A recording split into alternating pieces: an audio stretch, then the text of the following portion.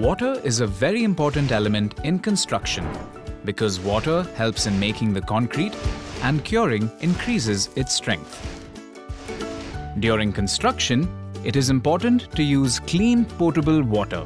This water can be obtained from many sources, like using groundwater with the help of a bore well, filtering and collecting it in a big tank.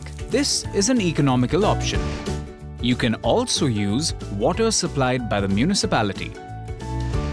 In their absence, you can get water with water tankers. Water from different sources could be contaminated with chemicals and other impurities. That's why water should be tested by experts. These were some tips on choosing water for the construction of your home. For more information, visit your nearest UBS store.